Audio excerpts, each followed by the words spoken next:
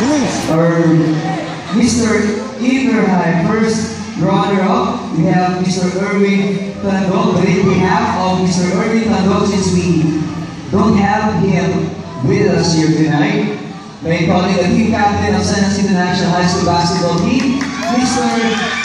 Donato, wearing jersey number six.